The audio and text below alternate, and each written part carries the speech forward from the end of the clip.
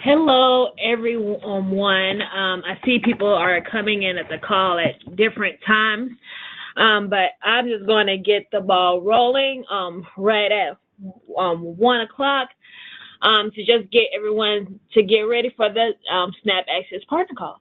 So again, thank you all for um, taking your time out right after lunch or maybe during lunch, I don't know, um, to come and talk with us about SNAP and um, things we're seeing on federal, um, state, and local level, and just here to just help you and more in your work and learning more about SNAP. So um, a few things for today's agenda. Um, so we're going to first um, going to hear from our Director of Nutrition Advocacy, um, Signe Anderson, with some federal and state legislative updates in SNAP, um, just to get you all um, knowing what's happening um, above, um, up above, and then also going to bring it back down with just talking about some different outreach things that I'm doing, we're doing, and what we're trying to continuously do in SNAP outreach with TJC.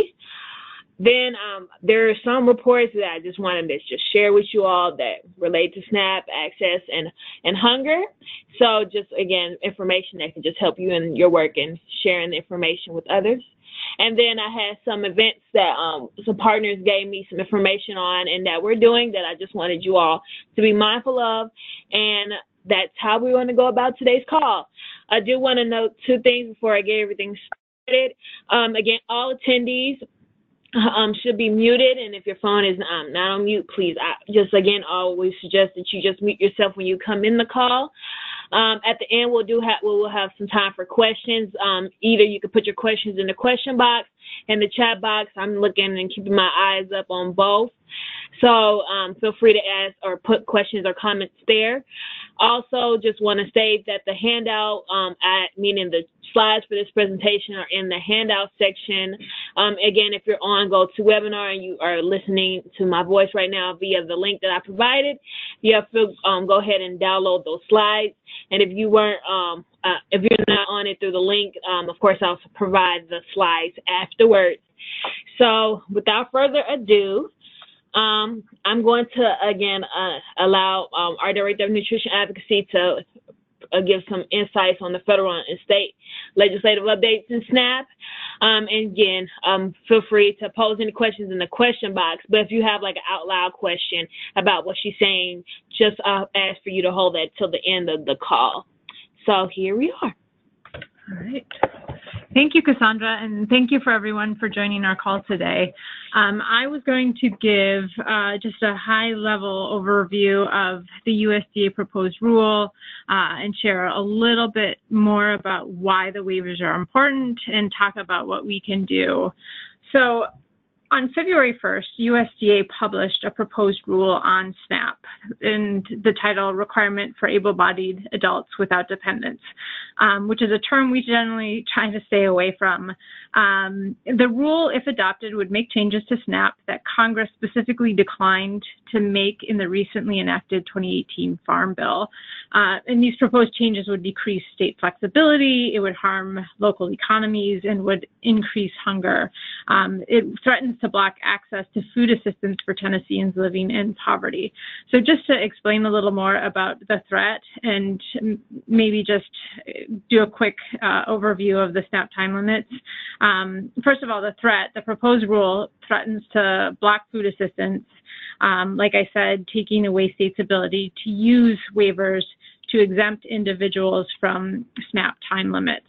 Uh, the waivers are important tool to protect food assistance benefits during difficult economic times. Uh, there's really no evidence that eliminating a waiver will increase employment and earnings.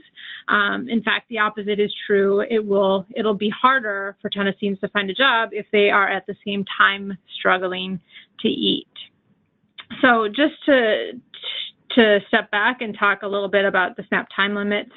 So SNAP time limits apply to able-bodied adults without dependents, um, or ABAWDs, again, a USDA term, who are are childless adults aged 18 to 49 and are unemployed or underemployed. So working less than 20 hours per week. Um, and it's estimated that under this proposed rule, 755,000 SNAP participants across the country um, would lose their benefits. Um, so right now, uh, the state may apply to USDA for waivers from the SNAP time limit restriction every year based on employment data across the state. Um, in Tennessee in 2017, the time limit waivers were used in 86 counties across the state to remove the three-month time limit restriction for individuals um, in, in that 18 to 49 age range. Um, and that means individuals were eligible to stay on SNAP as long as they needed and qualified for the support.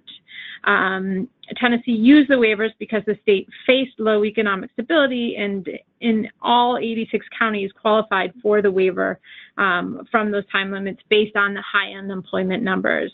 So in 2018, that number of counties that were granted waivers dropped to 16, so from 86 to 16. Um, however, over 50 counties still qualified based on high unemployment numbers. The state decided to only apply for 16. Um, and again, this year in 2019, we've dropped again. Some of you may have seen the alert that we sent out um, a couple weeks ago, but the state announced that they had only applied for six counties to be granted the SNAP time limit waivers. Um, even though over 40 um, counties would would qualify for a waiver based on USDA's um, USDA's unemployment uh, uh, qualifications. Um, so SNAP benefits play a critical role uh, in alleviating hunger and food insecurity for over 900,000 Tennesseans each month. Uh, the SNAP benefits provide a substantial boost to, to the economy, delivering over 100 million in spending at grocery stores. Um, so this, we think this is a, a, huge problem, and there are things that we all can do um, to push back. So on the next slide, um, we have a list of things that that can be done. First of all, we're asking for partners to submit comments, um, and there's a link to um, the FAC website where they're collecting comments. Um, and we will be having a webinar next week, so please join us for the USDA proposed rule webinar where we'll, we'll go into a little more detail about it and uh, offer a little more guidance on, on the comments. Um, learn more about the USDA proposed rule. We've sent some information out. We're happy to, to share more. Um, we encourage you to ask others to submit comments, especially if you have uh, specific instances or examples where this would uh, create hardship uh, to, to anyone in, within your counties.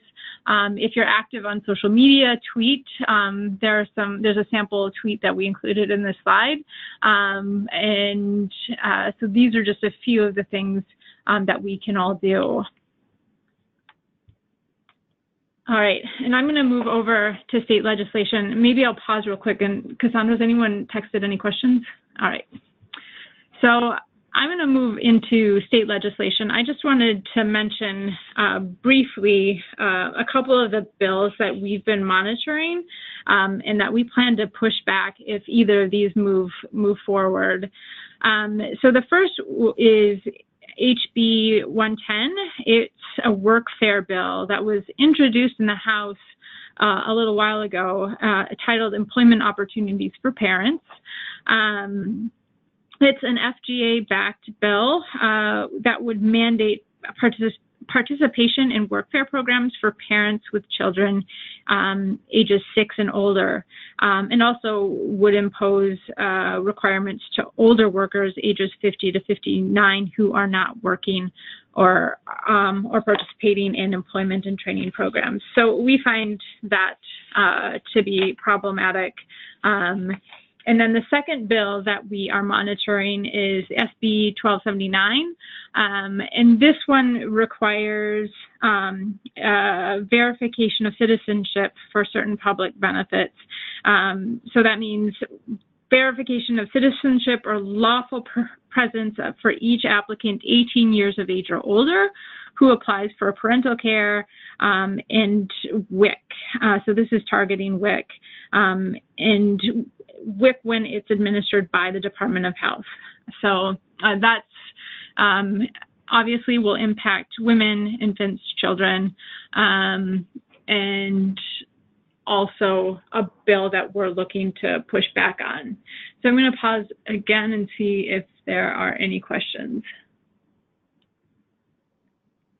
So thank you for the question. There was a question that came in over um, over the uh, question box, uh, the chat box. Would that include people with disabilities when it comes to 50 to 59? No, good question, and no, the the exemptions still apply. Um, so this is this is looking um, this is looking to uh, add additional um, time limits to people who are currently exempt. So this is taking away some of the exemptions, um, and disabilities would would still be waived and would still be exempt. All right. Any other questions, either on the SNAP or the WIC? And I'm also happy to talk about these more offline if if folks want more information or want to know how how to engage. Right now, we're we're just monitoring them um, and trying to gather more information to see how much traction they actually have. All right. So the other thing that I wanted to mention uh, to people on the on the call is We've uh, started a series of regional anti-hunger meetings um, where we have uh, joined with partners in the area. Um, for example, in Memphis, we met with the Mid-South Food Bank uh, on February 28th uh, to gather partners from across the spectrum to talk about SNAP and the child nutrition programs and uh, talk about ways that we can work together to improve access for, for individuals who qualify um, and address any barriers that are out there and basically network and exchange ideas. Um, our next anti-hunger meeting is uh, in Chattanooga actually next week on March 8th.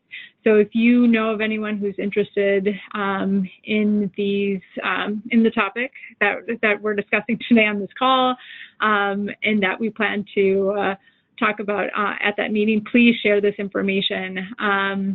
Again, the, the goal of the meetings is to talk about anti-hunger issues in, in the community, um, in the region, um, share information, learn about learn more about the programs, um, and discuss how we all can work uh, together to end hunger.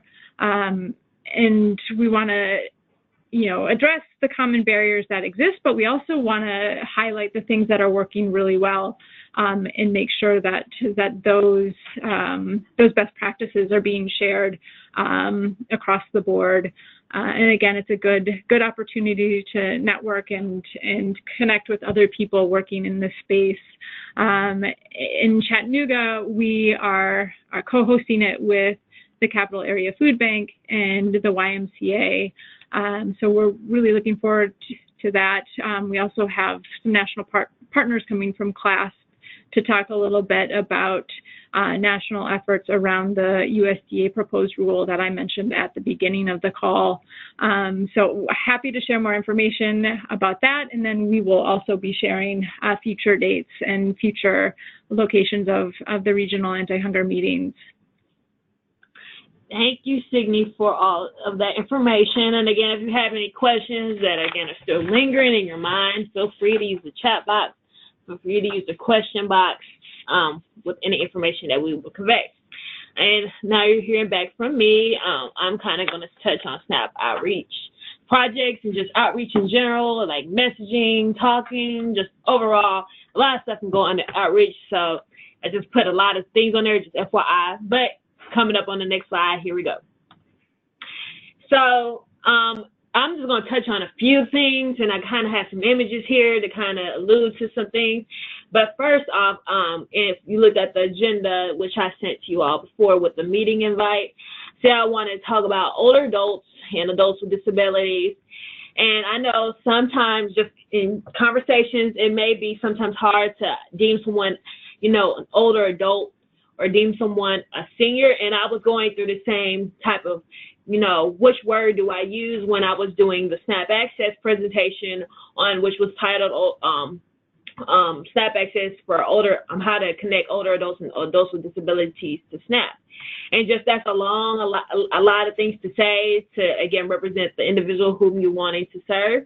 But I kind of have more words for you to say that can help with that messaging, but kind of will give more, you know, agency to the individual. If you're talking about, you know, an individual who is over the age of 50 or an individual who's over the age of 60 instead of outright deeming the person as an older adult or deeming them as a senior. Because again we want to show that this individual i mean aging is i mean a spectrum. It means some people see you know, 30 as young. Some people see 20 as young. Some people may see 50 as young. So I always want to think about that just in terms of messaging, in terms of talking to individuals out in the community.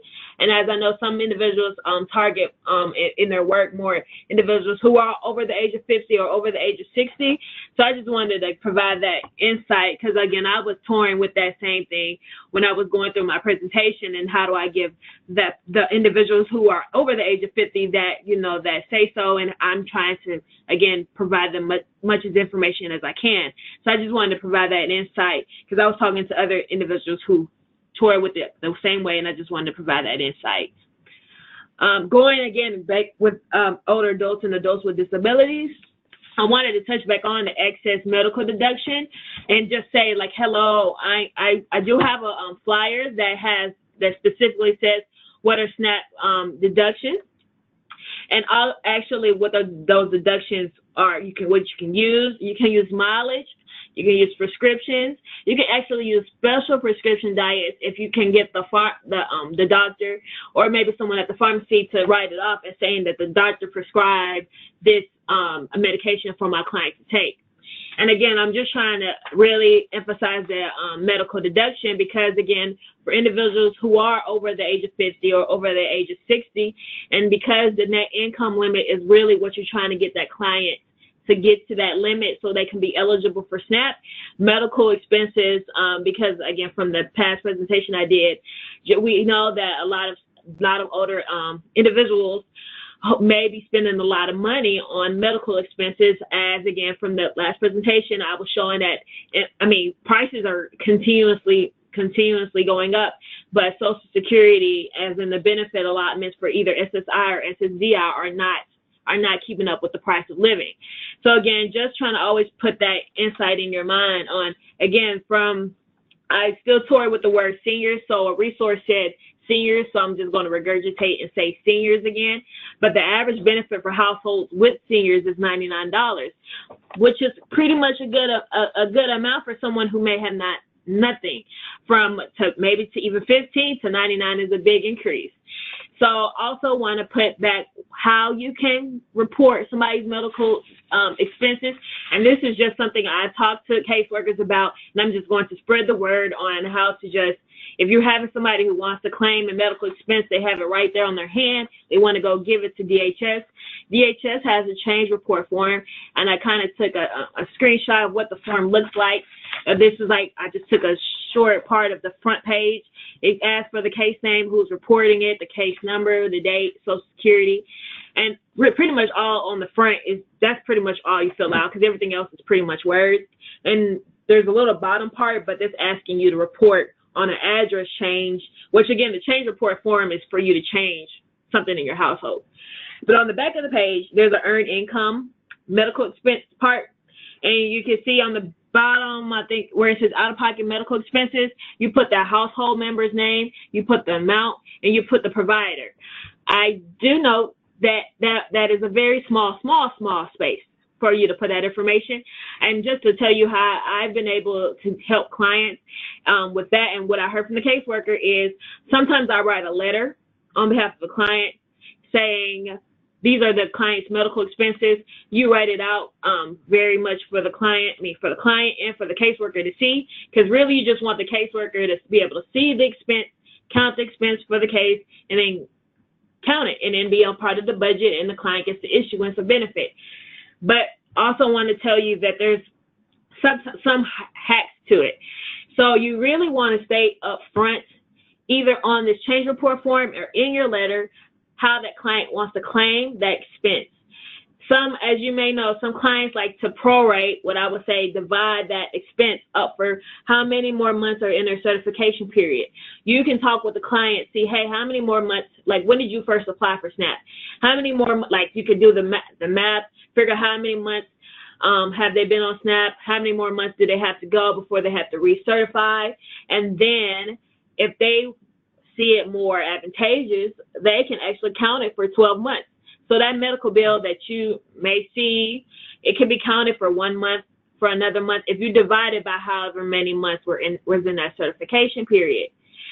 But you also can just count it for one month, and that client can get that one month in benefit, um, whatever, however much you may see them eligible based off that expense, and you just outright tell that to DHS. So if the client in the in the letter you write say, I want my the client would like the expense to be counted for the rest of their certification period. Or you can say the client would like the bill counted as a one-time medical expense. And I say one-time medical expense because that's what the outrage says in policy, cite, citing it back to the policy. So that can help you allow the client to use the medical expenses. And and also, I did hear from a caseworker. This can also, I'm not sure how much it may uh, be able to help, but the caseworker did tell me that if a client wants to call in the Family Assistance Service Center and report a change that way, that would um, give the ca- the caseworker will have to put in the record to send the client a change report form which a notice will say, hello, we heard that you want to report a change. Here's a form to report the change. And that can be the, another, another follow-up where DHS will send the client an envelope. They send it back to DHS, and that that is done. But just saying, if you want the form, I have the change report form. I give you the form. You can print it out, take it wherever you would like to go, and have. And then, like I said, the key parts are either on this change report form or through a letter on how you assist your client. You really want to say to them, count it as a one-time medical expense, or count it over the rest of their months in their certification period. Because DHS, if not, if you don't, if the client really wanted to count it for one-time medical expense, they will automatically count it for the rest of the certification period. DHS just automatically does that, just automatically does that. That's, again, just full disclosure from the caseworker and, I, and I's conversation, and I'm just spreading the word. Um, but let me pause for a second because I kind of got a question, and I think it still relates to this before I go on the other parts. Um, um, so what the question is, what have you seen that is most effective when it comes to outreach and getting um, older adults to call back for SNAP application assistance? Um, what have you found to be most, I mean, most effective? And I kind of, I kind of hear you, um, um, Nestor, um, from this question, um, because I do understand that that, that follow up um, can be tough, um, especially if a client may not be taking um, techie savvy. Um, so trying to get that information may be uh, a, a, um, you know, a lot of work. Um, but right now, Nestor, I kind of want to talk to you a little bit more off offline about that. But just to tell you what I think has been more successful is when I send continuous letters to the the client's household or their address because then of course i mean more people more people are traditional in that sense when when they see a letter they see of it as important um so i would suggest that but like i said nestor let's talk more because if there's ways that i can help or assist you in in follow up or outreach let let me know because again um still i go through that same thing with my clients and most times when i send them a letter that that gets it on the road. They, they, and it says, please contact me ASAP.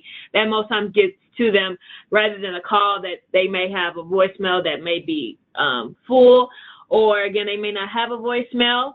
Um, and I also heard about you said outreach. I do know that some uh, some coordinators have um, figured out how to get their message out about the work. So like a newspaper ad saying hello, because again, um, uh, the uh, I can't remember what generation it is, but um, again, I'm going to say individuals over 50 or individuals over 60 most times read the newspaper.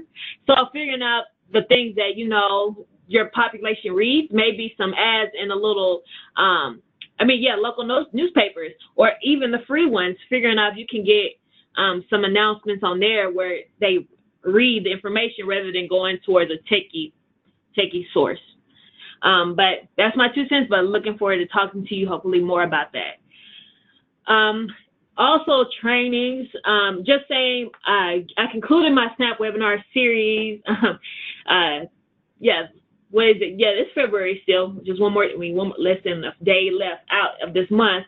But yes, the webinar series has, has concluded. So I did a, a webinar series on um, hunger and health. I did one on SNAP access, um, and I actually did one on SNAP time limits for history history wise, which again are all on YouTube. Feel free to go find them. They should be under Tennessee Justice Center's um, tagline. Those trainings should be up. If you can't find it, feel free to contact me. If you don't have the um, handouts, feel free to contact me. I'll share it um, as much as I can.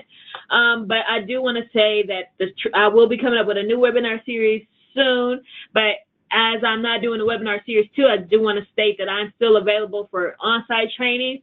If you're seeing, again, not don't see me just be in the Middle Tennessee. If you see me come into Knox County, you see me come into, you know, West Tennessee, um, please let me know if you're seeing the training interest in SNAP and any type of information. Just again, we're always happy to share what we know. So I'm happy to come out of my come out of my little shell in Nashville and come out to where you are to give you information. And I can also plan a webinar, or online webinar for the individuals you serve, if that's more easy and more accessible. So I'm always here and just just use me how you may see see fit. Um, and I kind of want to go back to the barrier survey just to state that um, just to it's being to be continued. We're still working upon it. Um, again, as I know, there's different application barriers, different recertification barriers, and just trying to solidify that through uh, again, not perfect, but you know, encompassing survey. So I just want to tell you all that that's still on my it's still on my to-do list. It's still part of my work, um, and I'm going to bring that back hopefully to next call. Um, but just again as a peer update. And just again, going back to Snap Outreach, I wanted to give this its own slide. Um, just again, while we're hearing about the legislative updates and the, um, the threats, I do want to say that the best way to to fight the negative aspects that are coming for safety net programs like SNAP and other um, assistance programs that relate with nutrition or health, sharing experiences about the program and positive experiences is always is always key to again persuade, I want to say, and also bring attention to legislators about whether the issues we are seeing on our local levels on a day-to-day basis. And again, these are just points, that, again, um, that you all may have known of, of what sharing your experiences can do. And I've always talked to clients all the time, just saying, like, if it wasn't for you, I don't know how I would have gotten the help. I want more people to hear about you, and I wish more people will come to you. And I, I, I, I always am so humble when I hear that because I'm like, this client really got a good service and they were very, they, I mean, humbling of themselves to get this service, even though I want more people to get, you know, access to things that they need. But again, just knowing that them touching me was a was a one part but again they can touch someone else through their own story and their own experience and they can help others and they have that power just as much as i so just also thinking about sharing experiences is actually giving the power back to the client rather than giving the client me i mean i mean also just thinking about the person who helped giving that you know that power and maybe that you know oh my gosh you helped me type of put that talk back onto the client to realize, hey, you can share your story. Hey, you can be the the reason why something happens, as in some power change or something big happens where oh a legislative bill doesn't pass. Like the person is the power. So I just want to say that I'm always here to hear people's experiences. I know you are always here to hear people's experiences. But if you always anytime you feel that someone's experience or story should be shared to a you know a legislator or it should be shared to someone up and you know in the federal government as we're hearing about SNAP time limits or if you're thinking their stories should be heard through a comment please I'm, I'm also thinking of ideas and also thinking of ways to work with you all to make sure we can get comments um, on this um, SNAP time limit, um, SNAP time limit proposed rule, how we're dealing with SNAP time limits on a local level. Again, just amplifying the voice of the client with experience and just making sure change is actually done on our local levels and our national levels through the experience and through the voice of the client, not just just me in Tennessee Justice Center.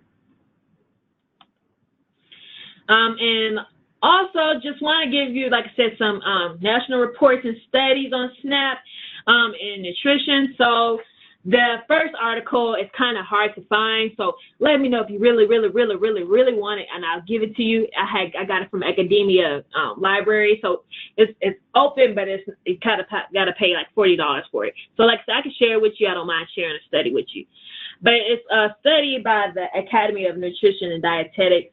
Um, they have um, some licensed uh, master of uh, public health individuals and some uh, uh individual who is a um, has a doctorate and this study was a qualitative study exploring the psychological um, uh, uh, uh, or social, uh, psychosocial um, effects of food insecurity for individuals. And um, specifically the academic consequences of food insecurity among um, um, college students. And the background, as in just um, reading some of the highlights of it, the issue is that food insecurity is a growing concern among institutions of higher learning in the United States.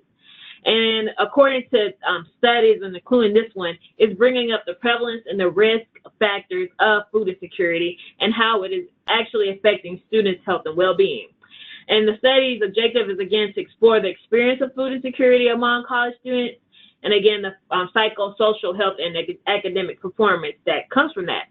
They use in-depth qualitative interviews um, with college students. They really have a lot of um, in-depth. They have the in-depth um, statements and quotes from individuals um, highlighting themes of like a theme of stress or food insecurity interfering with a daily life.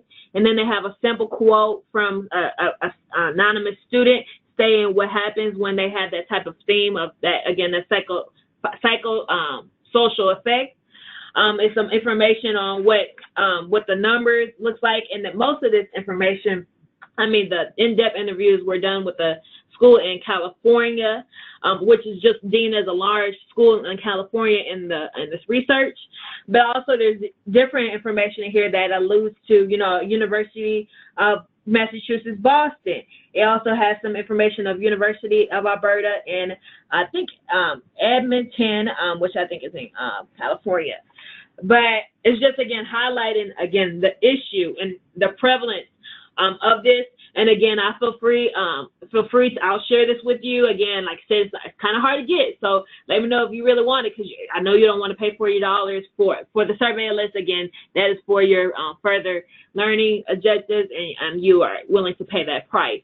But again, I had the study and again, it's a very in-depth study that really put, brings home into um, college um, insecurities again, and it doesn't really allude to how SNAP can um, help with that, but I do want to note that SNAP is a program that can help address food insecurities on college campuses. So just thinking about and putting that into your mind um, and thinking of, of your work on a day-to-day basis. Um, and then there's the Hunger Free America, which is a um, national, like, kind of a policy tank, um, think tank um, organization, um, nonprofit um, that's up in New York. And um, I, if you know about my uh, work as a Vista, AmeriCorps Vista, I was AmeriCorps Vista with Hunger Free America to lead on the work I'm doing at TJC. Um, but again, I want to just allude to this report because um, I was able to bring some information about some technology access um, to nutrition assistance on our state level. But this information is actually coming from a national level. So actually, I, it's so it's over um it's over 50 or yeah, 50, it's 50 pages to be exact. And again, the the information is again trying to achieve a long-term renovation and modernization of you know social service, but through the aspect of SNAP and the technology that SNAP offers for um, for on our state level and kind of just I kind of want you really want to read it because it's very aligning to show what kind of technologies we have and what type of ways we can you know submit an application or how we can actually um dot me not me I mean submit an application but also follow up on the application. And I kind of I mean think Tennessee is pretty much um its ranking. I mean we're able to use websites to apply for SNAP um, you're able to use the phone to screen. If you're not knowledgeable of this, I'm now shouting out to the core of my lungs. You can use 211 um, United Way um, services um, do SNAP screenings. Um, and if you don't, I think also there's different the link uh, the library services in um, Shelby County Um, they do screenings. There's different. Um, there is a screening number, but it's very. It may be subject to subjective to the county and the uh, places where you're serving. So West Tennessee may have a different 211 line and it may be different for different counties. Or it could be like again for i know for middle tennessee we have a 211 line through united way that people can call in and get screened. So it's very sub, um, subjective but objectively individuals could call into a line and get screening. It's just again county by county sometimes gets kind of um, weird but I also want to know that some individuals in other states can um, resubmit applications um, through through the website, or they can also use a mobile app to submit applications. So this just again, I can share this with you. This one is actually free, so I can send this. That report link right there is all for you to offer you to um, touch on. So um, and you can touch on it and look at Tennessee, look at Tennessee compared to other states, and just seeing where we can grow in our te- technological approaches to increasing SNAP for all populations. And again, make sure all populations are savvy um, and are trained to use the resources that can, again, increase their access. Um, and I see some people do are interested in the study. So yes, I will share the study with you. Um, and also want to state that we were going to have Amy um, Cone from AARP Foundation on the call, but um, due to unforeseen circumstances where um, family, she can't be on the call today. Um, but I will hope to get her on the next call. Um, but I do want to note um, about the uh, Fresh Savings and Fresh um, Fresh Savings Program because we've been talking a bit about it, and I'm just going to put the slide up. But again, I said she's not on the call right now. But I just want to give you all an update about the program. And again, if you have any questions, I will feel free to send you to um, to Amy, and I know she'll feel free to um, share information with you. But I do want to say that the Fresh Savings Program is um, concluding um, in March, and I don't want to misquote um, the date, um, but I'm going to state this now because now I'm reading the um, language from from verbatim. So from, so through the Fresh Savings Program, 800,000 people in Mississippi and Tennessee have been able to stretch their grocery budget and purchase more fresh fruits and vegetables. Hundreds of partnerships were developed to support this kind of work. In Tennessee, this, these partnerships included 31 farmers markets, four local retail grocers, 16 Kroger stores, and three healthcare clinics. Partnerships have included Tennessee Justice Center and state level and county level Department of Human Services, Agriculture and Health Departments, and triple ADs, and innumerable local nonprofit and community-based partners, and also support from dozens of incredible volunteers. With the ending of the foundation grant um, from U.S. or United States Department of Education, I mean Agriculture on March 31st of 2019, the foundation will be entering their sponsorship of the Fresh Savings Program, including Fresh Savings RX. The programs have been highly successful in nearly every community, and many outlets are making plans to secure local funds to, to continue offering a double up SNAP program. The foundation will spend the next several months analyzing the evaluation results from the household survey conducted with 1,400 households. Those results will be made available to partners later this year, which again, Tennessee Justice Center is a partner and we will share that information. And again, if you have any further questions, because again, I just read verbatim, please feel free. I'll share the information to contact Amy Cone, Cone from ARP Foundation off, you all, um, I do have some um, upcoming events coming near you. Um, I didn't really get too many uh, events and trainings except for maybe like one or two. So I'm just saying the overall announcement. If you got something going on, let me know. I'm going to share it again, share it to, as much as I can. So I can share a flyer, I can share um, a date. I want it all. So I just from the announcement that I made about if anybody had an event to share with me, this is what I got. So I'm just going to um, legal aid of Middle Tennessee and the Cumberland is holding um, clinics. Which, when you think of a clinic, a clinic is something that um, is where they can bring their attorneys in and offer like hands-on, um, direct service experience and get some intel on what may be going on with a case or figure out what, what can be done. So they're having a RAM clinic at the Meharry Dental School, which is in um, Nashville, Tennessee on March 9th. They're holding a SNAP clinic on April 13th at the Nashville Food Project, um, which is again another organization that deals with food justice here in um, here in, in the Nashville area, and they actually are providing snacks to clients. So look at that um, and meeting people where they are. And the 14th or 16th of April, the uh, Legal Aid of Middle Tennessee and the Cumberlands is doing a presentation at the Tennessee's Coalition to End Domestic Violence and Sexual Violence, um, which is their annual conference um, at that time. So again, if you want more information about that, and also I forgot one, the March 9th, right after, which is on a Saturday, they're doing a um, going to a food distribution um, with the well, and they're doing outreach at Spring Hill um, High School on that same day. Um, I mean, my regard, they're doing food distribution with the well outreach at Spring Hill High School on um, the night nine to one. And as Sydney noted, um, the Tennessee Justice Center is doing our Southeast Anti-Hunger Summit meeting at downtown um, YMCA.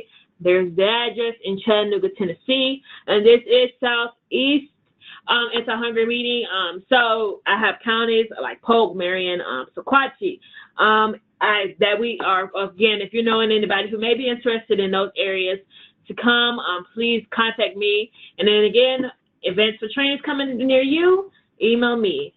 But other than that, I want to thank you all for participating in today's call. Uh, feel free to contact us. That's our main contact line. Again, don't again, don't forget we got one more part of our team, our child nutrition advocate. So if you're seeing some stuff that you want to address with um, child hunger in, let's say, in the schools or anything like that, feel free to contact Madison also. But again, if you need some information on SNAP, um, high level nutrition advocacy, and also how to, you know, get into our webinar or how to get on in that comment, um, public comment period, feel free to contact um, her again or anyone else on our team. But other than that, I don't see any other questions. Um, and I don't see um, anything else to cover. So again, I appreciate you all being on a call with me. And other than that, I don't have anything else. So take care. Oh, I have one. Have one. Hold on. Okay, I think I just seen someone had a need for the survey. I got got it. Got it. So, um, and I'm assuming you're meaning the survey info. Um, I'm thinking maybe for fresh savings, or if you want an information survey, or do you want probably got to email me for more emphasis, but I think you're talking about the um, ARP. So um, let me know if I can help you in any other thing. But other than that, I will end today's call. So take care, you all, um, and talk soon.